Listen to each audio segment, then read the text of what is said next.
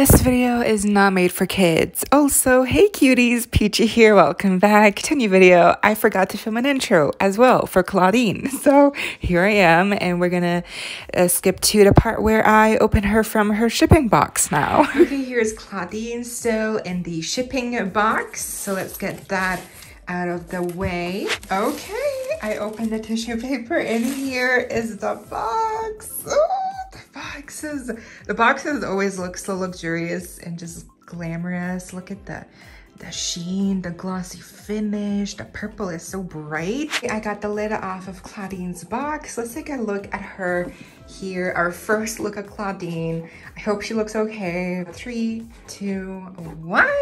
So I took the reflective protective thing off so we can take a look with our reflection um, I think the face up is really good. I guess I would say the lips are perhaps a little bit printed too low and the left eye, at least the misprinted eye kind of gives off an effect of like, oh, she's looking in a direction, but she's not. Um, but overall, she's really pretty. Her hair feels very nice. So I'll be back shortly to show you her out of the And here we are, Clawdeen is out of her coffin and let's first take a look at everything she comes with. So obviously Clawdeen comes in her fabulous coffin shape deluxe box here. And in this box, you will find her exclusive brush as well. And this purple metallic finish. Um, I leave all my brushes in because I feel like they look very nice and presentable like this. And on the inside of her lid, you will find her diary in this little pocket that has her name in purple as well. The diaries are very luxurious. They are just like the old diaries, which I love. And I'm also thinking of perhaps reading her diary in a separate video. Let me know if you would like me to do that. And we also do have her certificate of authenticity here on one side with the signature of the designer. And we also have, of course, a little message from Clawdeen herself. It is very fun. I love that they did this with each of the cards. Now, getting to the actual doll herself, she does also come with this really beautiful purse. It's actually like chain. Hang on. It is actual chain linked here in gold. It's not real gold, but it's, it's a gold chain here. And it's like, it just feels like really nice. You know, it's a very hefty bag. Um, unfortunately, I guess, you know, it is not real fabric. You know, it's not like, I guess, of high value because it is just a pla plastic piece, um, right? But unlike the other purses are fabric, like with Cleo, Frankie, Draculaura, Lagoona's and Clawdeen's are the only ones that are still plastic. But I do love this little touch with the chain. It does make it feel much more luxurious. And this little purse obviously is a reference to the Wave 1 jacket of Clawdeen. Moving on to her face up, she is a gorgeous doll. Look at this screening. Look at the, look at these lashes, girl. Love the positioning of the lashes. They're, it's perfect. Honestly, the best pair of lashes I've seen so far. Um, the, the eyes are very nicely detailed. Look at the iris here. Look at the makeup. It's very simple. The makeup is very, very simple on these dolls, but it, it, it works because the makeup is not the highlight of these dolls. It's the outfits and everything else. So, and she has some purple lipstick. Now, um, I did mention that I think her uh, left eye here is um, printed on a little bit wonky. Like if you can tell, it's, it just the way it finishes on the inner corner.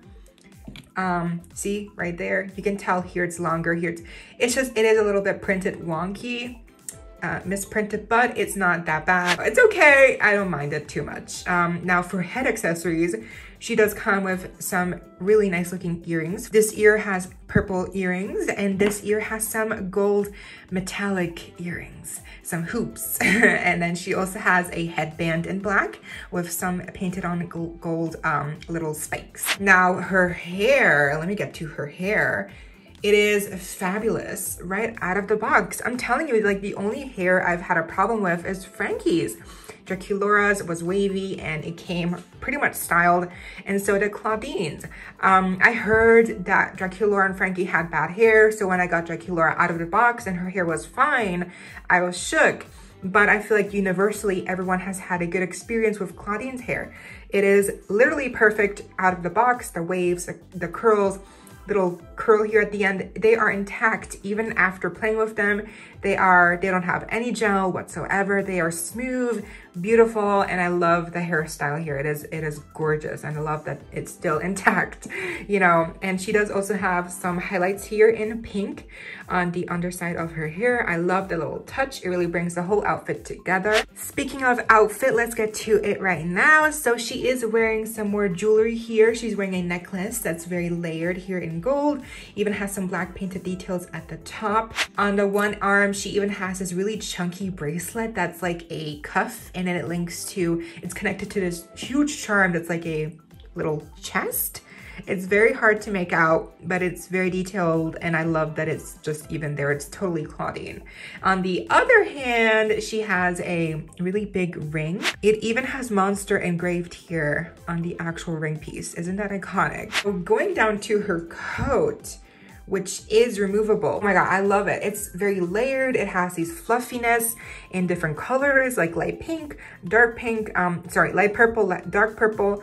Um, I love the way it's like shaded here. Um, and the lining is a neon green. It all fits together because it ties back in to the top that she's wearing here underneath of this like black fishnet, almost looking like um, gold shimmery over top. So this is a separate piece.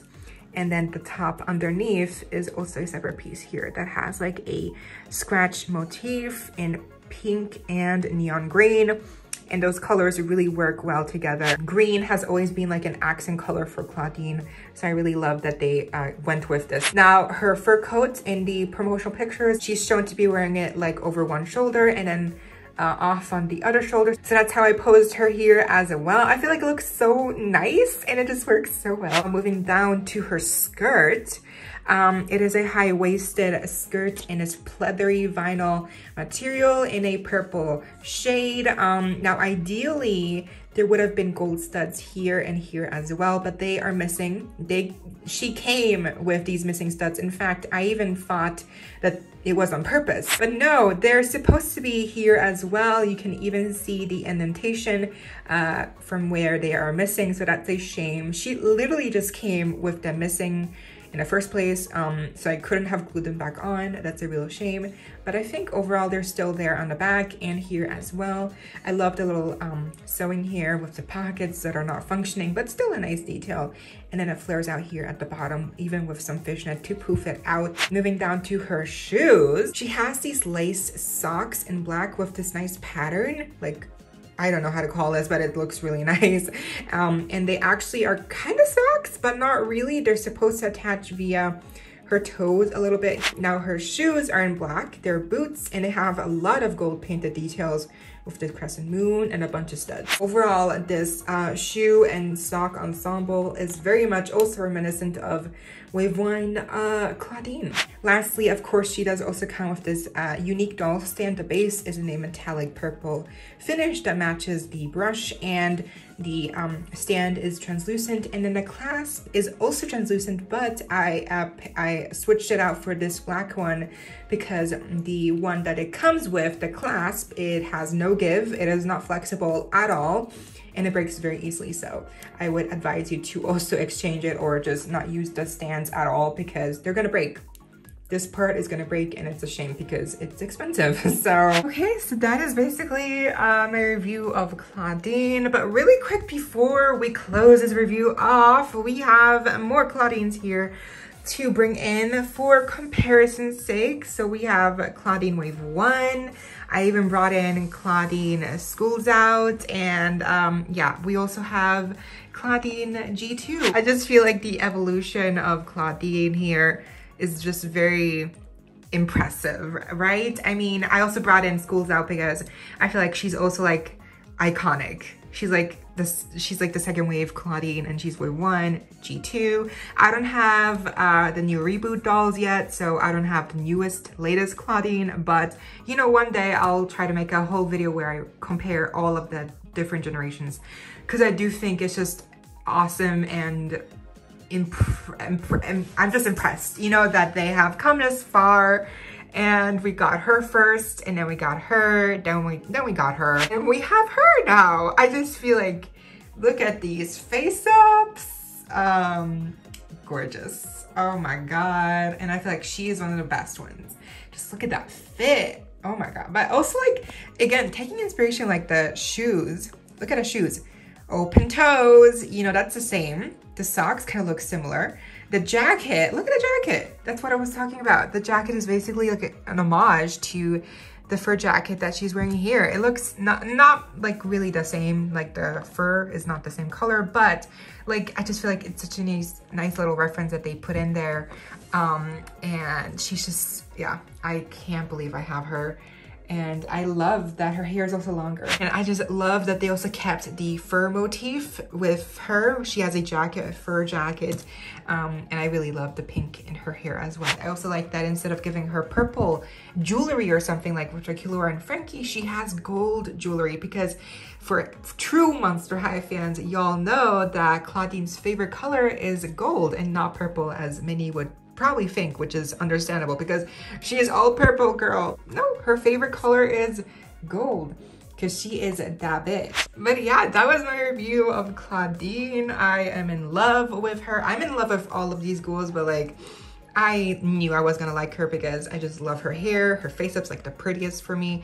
Uh, her little fur jacket, the, the skirt. Oh my God, the skirt. Even though it's missing like studs, I don't care. It's still really pretty. Uh, I hope y'all enjoyed. You know the drill. Leave a like, thumbs up, leave a comment down below. Do you have her? Do you not? Do you like her? Who's your favorite from the Haunt Couture line? Let me know down below. And as always, don't forget to subscribe, hit the notification bell if you haven't already so you don't miss out when I post more Um, more, more Monster High doll news, doll reviews, and a bunch more content coming your way daily and keeping you up to date with the adulty you love. Stay safe, be kind. I hope this next time, stay peachy. Kisses.